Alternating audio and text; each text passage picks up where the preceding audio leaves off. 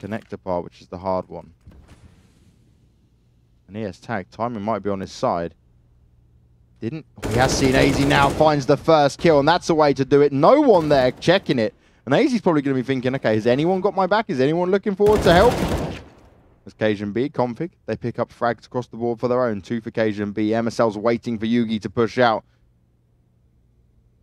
Sees his weapon, and JUGi won't last a little second longer. MODDII all alone now in a one versus four. He knows where MSL is going to come from. The flash goes out, but MODDII is unfazed. cajunb comes in to finish it off. If your sound is delayed, guys, do control F5.